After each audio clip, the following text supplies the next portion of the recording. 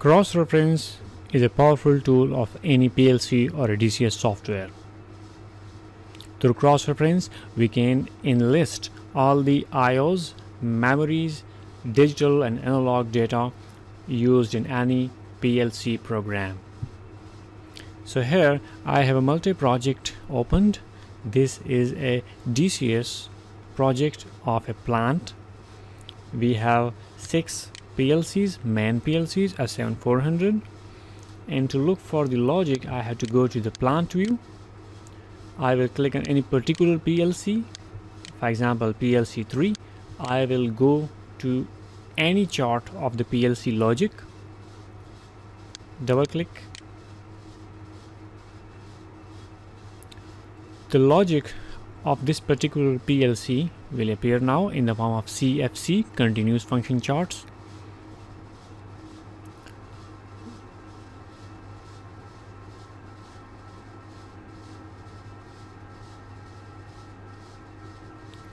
well once it, it has appeared I will zoom it.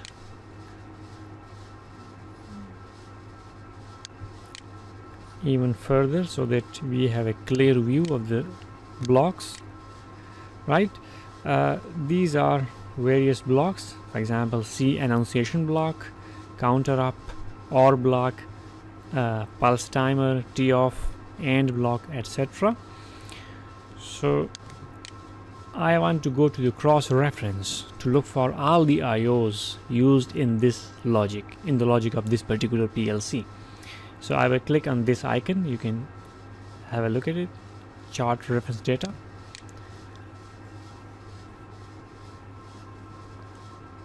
A new window will appear. To look for the addresses all the addresses I will click on this cross references chart element address click on it it will retrieve all the IOs memories whether they are digital or analog right? Now I maximize the window. Now the, all the IOs have been retrieved right?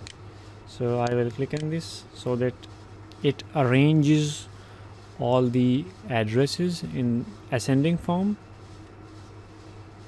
right? So let's let me explain it. Uh, this is the symbol of each IO whether it is input output memory. Uh, the data type is bool against you know the digital inputs or outputs read write status the chart the specific chart in which that address has been interconnected with the blocks the chart element uh, and the specific block type has been mentioned uh, against each IO if I want to export well all these IOs in the form of an Excel sheet I will click on the reference data create export file I will save and uh, save it on the desktop. I will give it a name. For example IOS list of PLC 3 I will save it. I will go to the specific file on the desktop to demonstrate further well this is the IO list of PLC3 double click. This is actually a comma separated uh, value file CSV file. So I will have to work further on it in order to refine it. Well this is the you know this file is in the data is in scattered form. I have to refine it. So how to refine it? I will show you that. Go to the data here text to columns. Well delimited. Next. Well the each element in this raw data has been separated by a semicolon. I will click on the semicolon deselect tab. Next and finish. Well now the data has been segregated into each column respectively. This is the symbol address data type read write chart chart element block type uh, element comment and block type right? So you can save it even further. Control s. I will save it in the new format. And this is your IO list uh, not just input output list but also memory uh, addresses list of this particular PLC right going back to the cross reference list if I want to go to that particular address for example I, uh, I 1.0 I will right click on it go to point of use it will carry me to this to that specific point where this input address has been used in the logic right? So this i 1.0 has been interconnected with the local start interface of the drive block. So this was very simple example. Additionally through cross reference you can also look for all the block types used in the logic. For that you need to click on this block types and after some time it will retrieve you all the blocks used in the logic of that particular PLC in which you have opened the cross reference so here is how. It has retrieved all of the blocks we have AND blocks we have C annunciation C annunciation blocks damper blocks drive blocks and all the blocks used in the logic have been enlisted in this. Uh, if you want to export it follow the same procedure as we did for IOs give it a name. All blocks in PLC 3 save it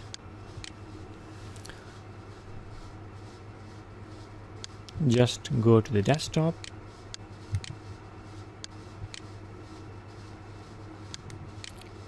Segregate or refine the raw data. Since it's a CSV file so we have to segregate.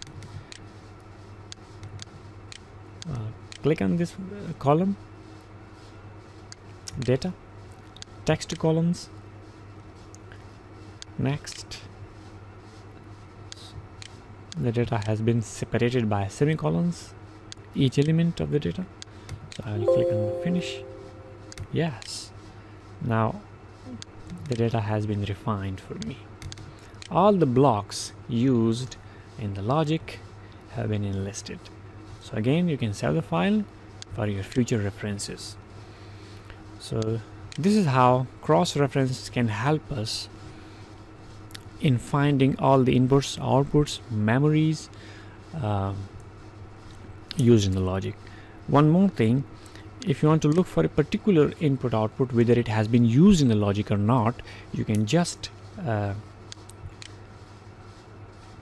find that particular IO or memory address control F. Well I will look for I 10.6 uh, sorry I 10.5 from cursor position downwards.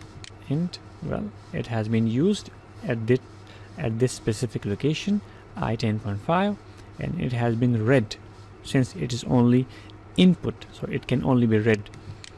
Go to point of use.